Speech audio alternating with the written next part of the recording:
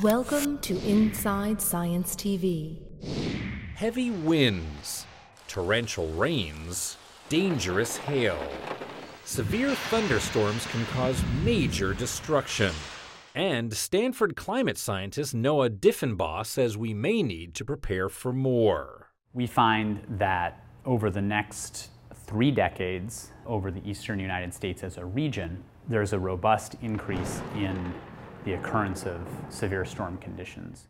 Diffenbaugh used physics based climate models to project severe thunderstorm conditions for the next century. He found global warming may increase the likelihood of these events. Severe thunderstorms need to have a combination of strong winds and a lot of energy from warm, moist air rising to higher altitudes.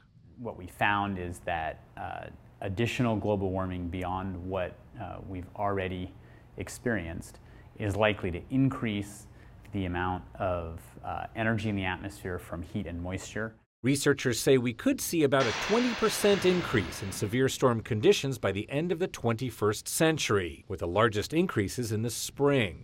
This could affect a lot of people.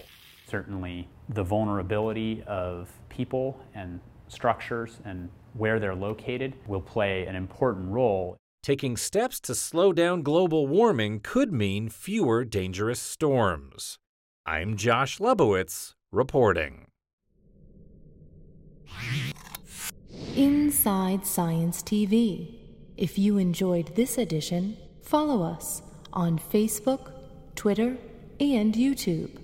Powered by the American Institute of Physics and a coalition of underwriters.